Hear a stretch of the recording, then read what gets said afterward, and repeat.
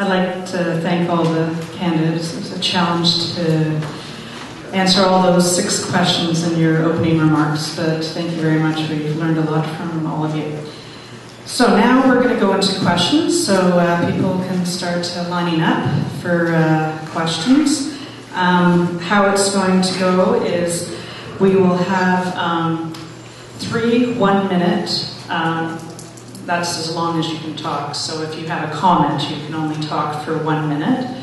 Um, questions. So the and uh, we have uh, a guy back there. He's going to type the questions up over there, so everybody will be able to see. Um, or is it you, Susan? Okay, Susan's going to type them up, so you'll see what the three questions are, and then each candidate will will have two minutes to answer uh, the three questions. And some, as I said, can just be comments, and they can just comment on the comment if they want. So if people would like to get up and uh, we'll get some questions and comments going. Hi, my name is Brock, and I'm from the Halton riding, but my question is for all candidates. Uh, public funding for Roman Catholic schools means that my tax dollars subsidize teaching children that homosexuals are disordered and it helps religious leaders to try and block the HPV vaccine, preventing the prevention of uh, cervical cancer. On top of this, funding four separate school boards, English Public, English Catholic, French Public, and French Catholic, uh, leads to inefficient waste that has been estimated to cost up to $500 million per year.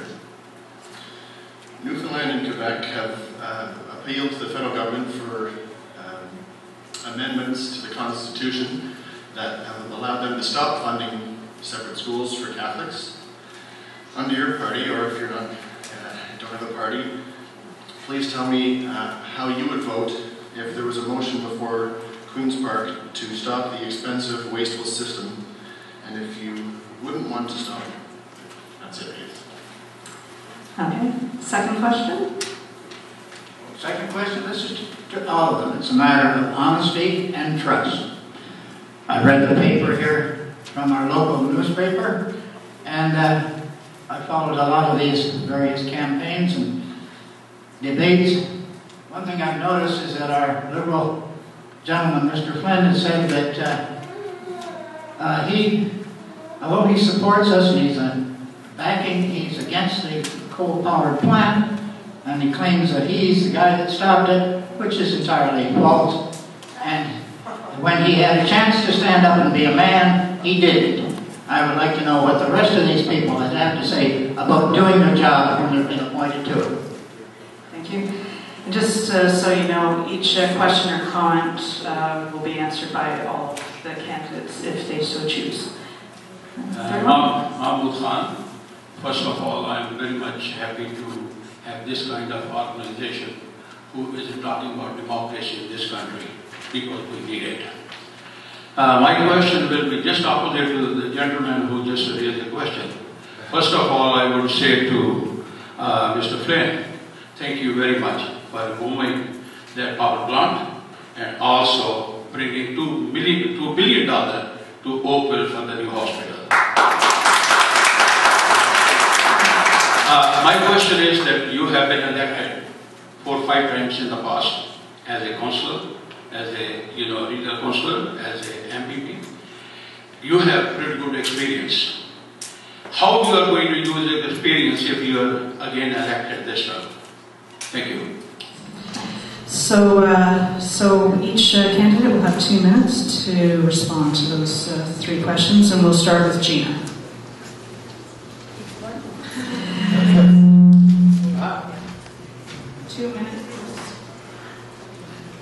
For all you get. Two minutes for all three? For all three, yeah.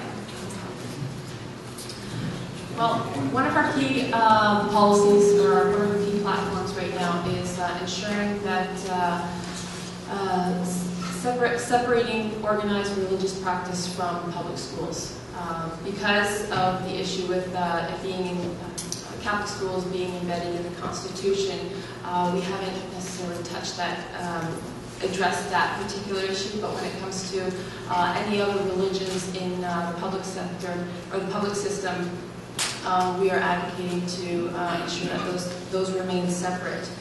Um, we want to ensure that the three basics, reading, writing, and arithmetic, are reinforced, and that social activities that can be divisive um, remain out of the public school system. Uh, and again, this, this relates to the uh, separating of the organized religious practices. Um, when it comes to the issue of uh, honesty and trust, um, and about the coal-fired uh, plants, realistically, uh, we would not shut down the coal-fired power plants until uh, we have other uh, base loads up and running. It's just unreasonable to have those things shut down until that time. So we wouldn't have a specific deadline, but we would be in the process of doing it. And then for the third question,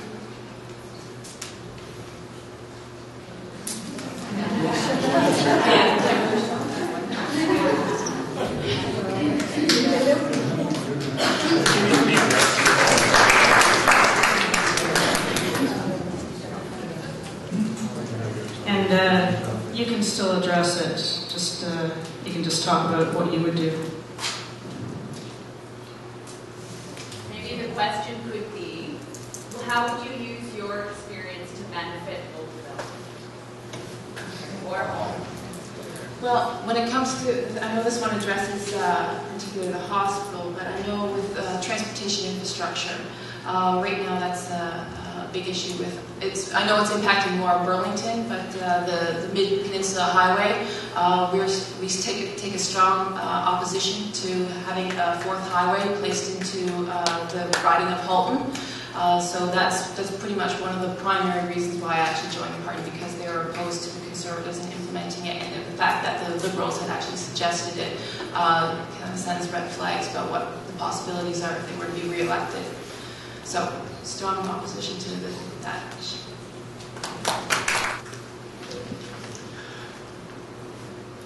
I've been thinking about this, and I think it was Premier Davis who first said that we have to start thinking about separating, sort of uh, merging the two school boards.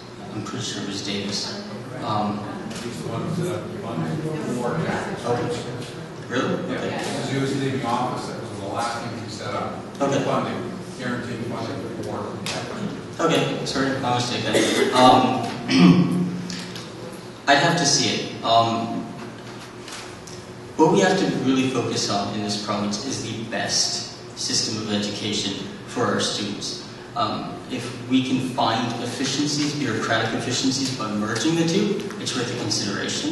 Um, however, if you look at some studies, they say the Catholic system is better in terms of the results that they, they, they come up with. Um, personally, from a matter of discrimination and from a matter of um, that sort of re- religious, um, I don't want to, pushing a religious agenda, I'm against it.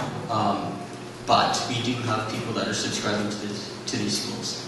Um, if it actually came down to a vote, which was, I think, uh, the question, I would vote in favor of merging them because of the religious aspect of it and because um, if we can recoup uh, $500 million in waste, if that's an accurate number, then I think it's worth a look at.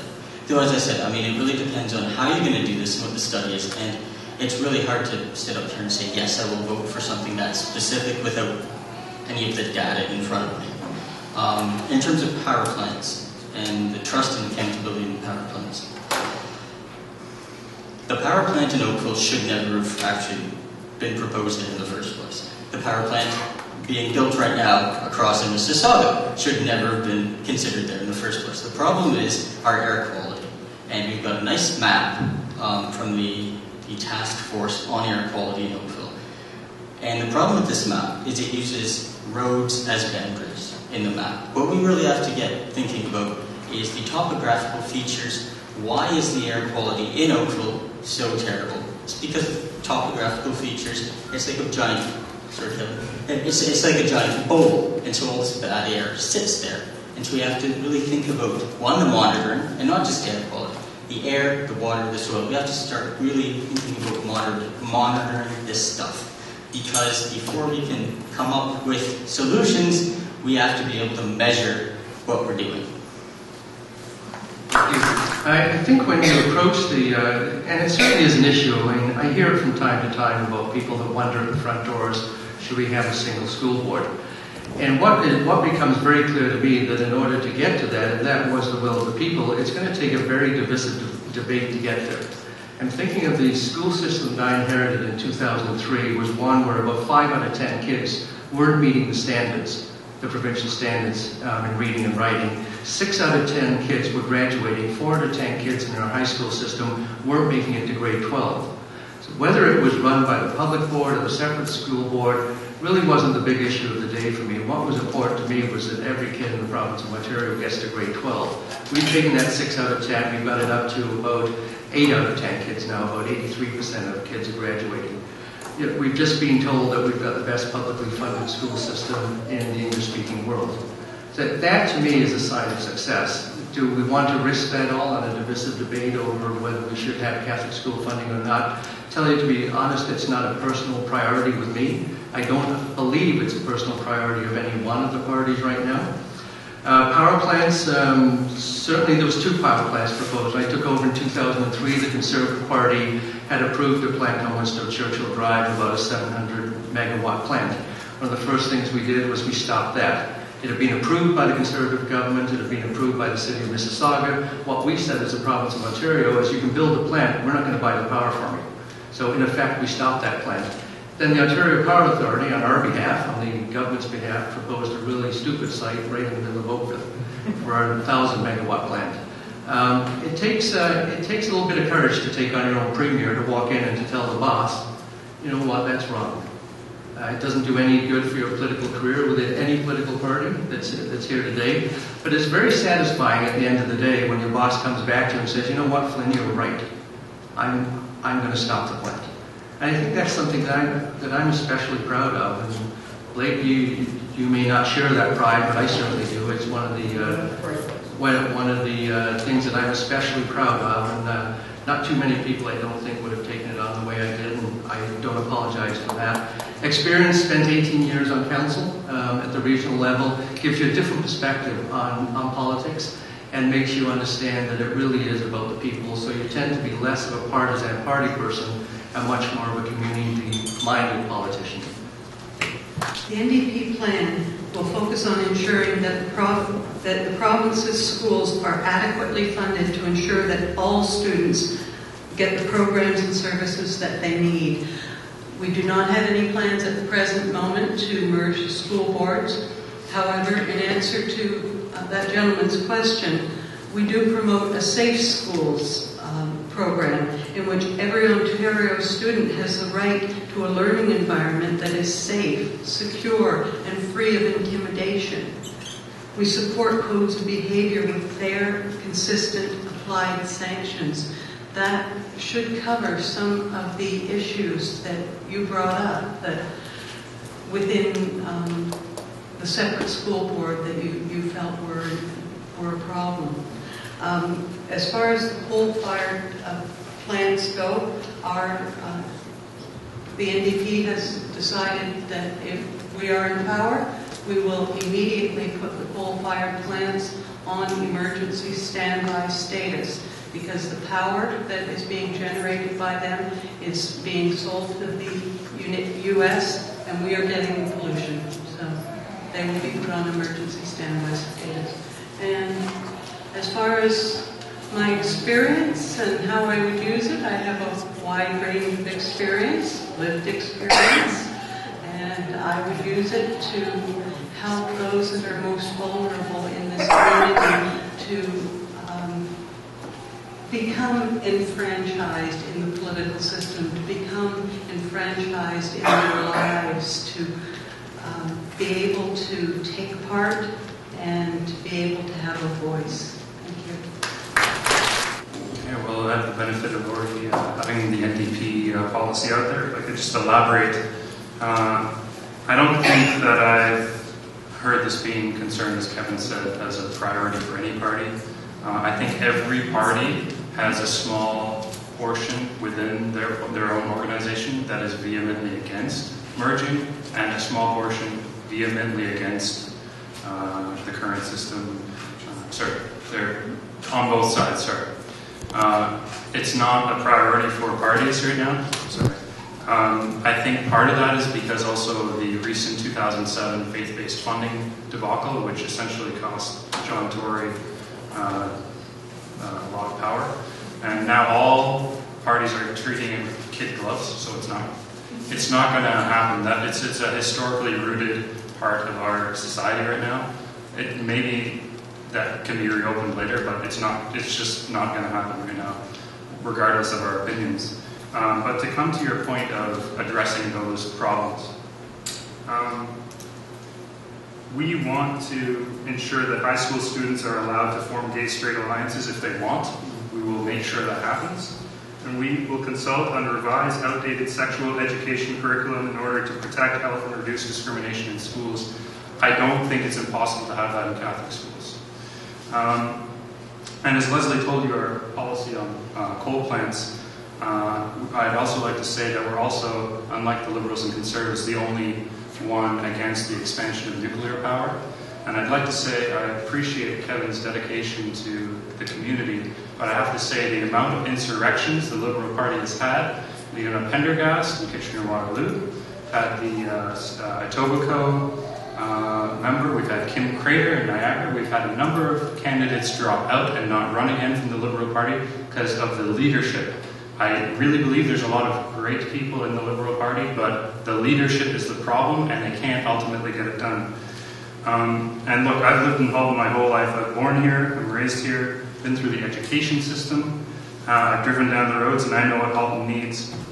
But also, I'm a candidate that truly listens, and I want you to tell me what you want me to do. Thank you. Okay, we're going to go back. We're going to go one at a time. We just felt like being different just to get your attention. Good evening, candidates. Um, in the last election, the natural environment was a big question for, uh, before the provincial election. It seems to have lost its importance. Um, Kevin and his um, government saved um, the green, put in place our green belt and supported strongly our natural heritage system in Oakville and um, expanded Bronte Park and did a lot of good um, environmental um, conservation for our area. But now our town of Oakville and regional Halton government are ripping it all apart. I'm speaking in particular of our natural heritage system and Glenorchy conservation area that Kevin worked tirelessly to achieve, and now is being ripped apart by oh, dozens of roads through the most important natural, scientific, precious areas. So I'm asking all of you, um, because the province does have ownership of most of this and the valley lands, what will you do to stop our um, lower tier governments from destroying what you worked so hard in the last government to put together. We've got a lot of land in Canada. And the problem is, when we're talking about urban development, we don't use it wisely. The, the tendency here is that we just keep building up and outwards, when we really have to start focusing on building up. But because we've got a lot of space, we're not encouraged to do this. And you can see it in uh, local town bylaws there was the condominium that was going on uh, just across the uh, the river, the creek, from um, the Oakville Living Arts Center, and the debates on how high we should let this building be. And so, in stuff like this, we really have to think about if we want to preserve the green belts that encompass um, our towns and cities, and also if we want to save the natural reserve, the natural preserves we've already got from development. Having said that, um, what I will do personally, uh, I, I, will say that I will advocate for. Uh, I mean, I, at the provincial level, you really can't go and tell the, the the mayor what to do. You can influence him. You can pass legislation that works with all municipalities.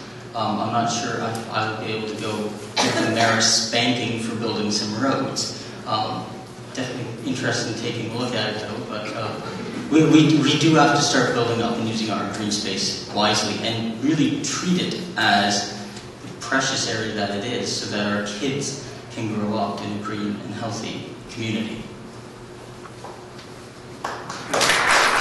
I think I, as I look out in the audience, I see a lot of um, familiar faces that were involved in what I think was one of the best examples of democracy at work, and that's when we changed the minds of town and regional council when I was on council as to what they would do with the lands north of Highway 5. Previous government and some, uh, probably a majority of members on council at that time thought that a lot of those lands should be turned over for employment uses. People in the town of Oakville, however, had some different ideas, and they thought we should be preserving our natural heritage. And, uh, and we won. A little group got started, three or four people grew into about 800 people called Oakville Green. And if you ever wanted to do a case study of how people can change the mind at the level of government, that would probably be it. But you can't rest on uh, you can't rest on uh, your uh, your victories. I don't think that long. We were able to supplement that with a green belt in, uh, that surrounds the urban area the GTA. It's larger than Prince Edward Island, and we've decided that it needs to be expanded even further. What Dan's talking about is a bridge over Burnthorpe Creek that comes down and cuts really a swath right through the lands. It's been approved, as I understand it, by the region of Halton, and it's been approved by the town of Oakville. I personally expressed my concerns to both levels of government as to the routing of that. Uh, of that. But it, it, brings into question when you say we're going to work with the levels of government, we're going to listen to local government, we're not going to be the big nanny state and tell you what to do.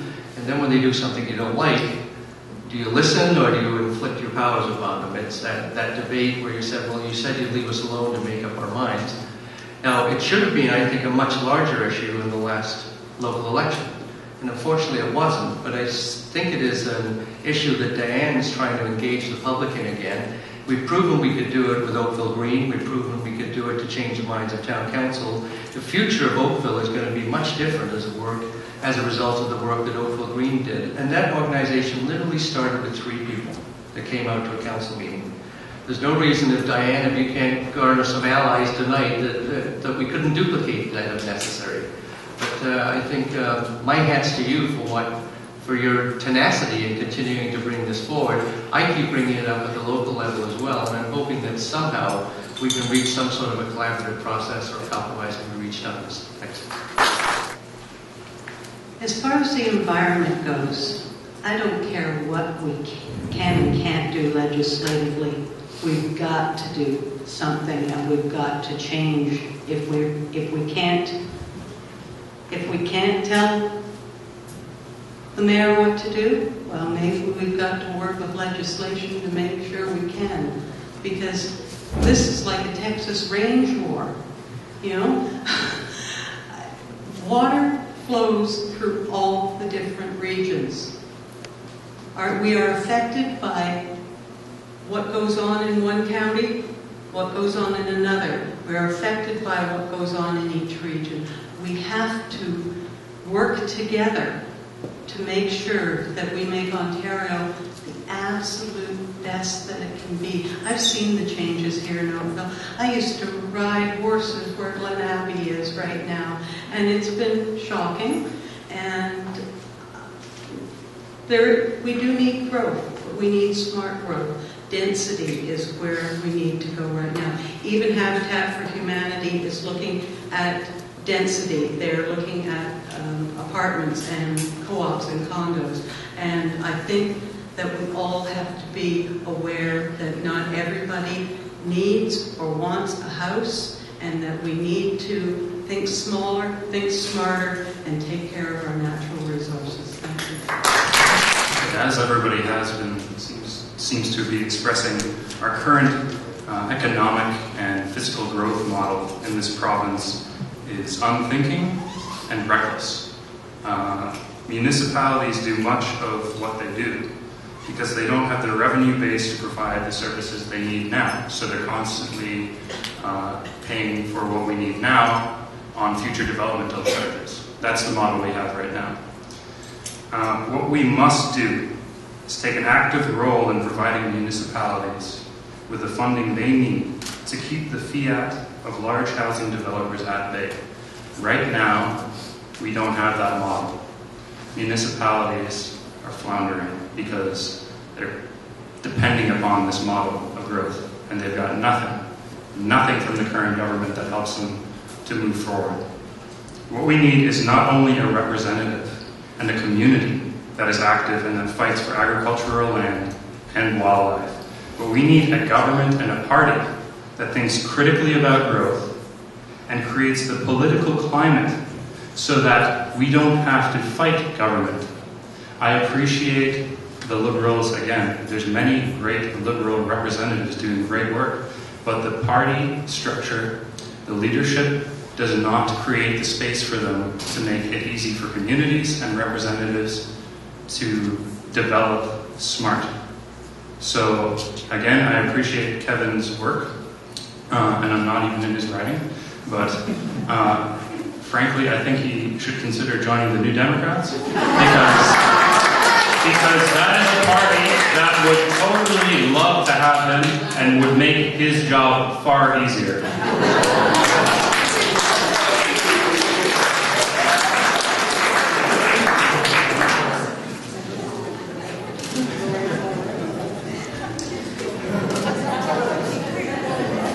Which of you would step aside for that?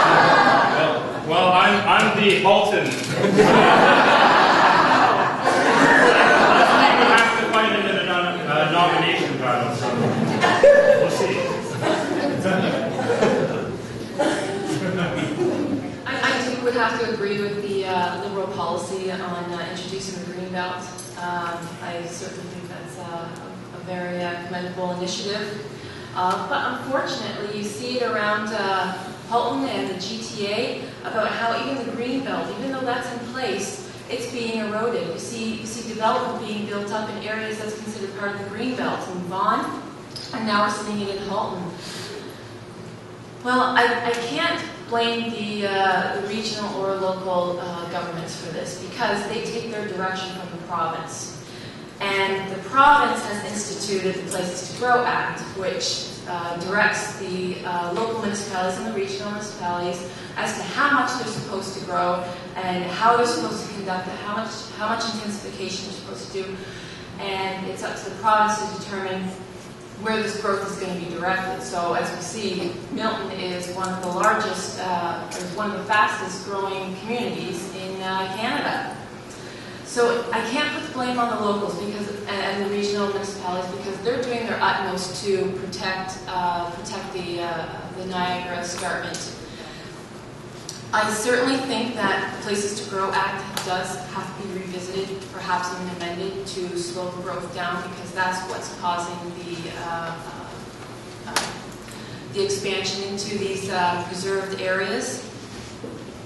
Um, the urban growth plan has to be uh, has to be modified as well. I, ju- I coming from uh, from being working in the regional uh, government, I see the struggles that the uh, the public servants have with trying to uh, battle the province with uh, with the intensification and seeing the struggles that they have to, that they face trying to implement this policy when it's just it's becoming unreasonable. So I, I strongly uh, suggest that we do do uh, amend this Places to Grow Act because I think that's where the the largest problem is right now.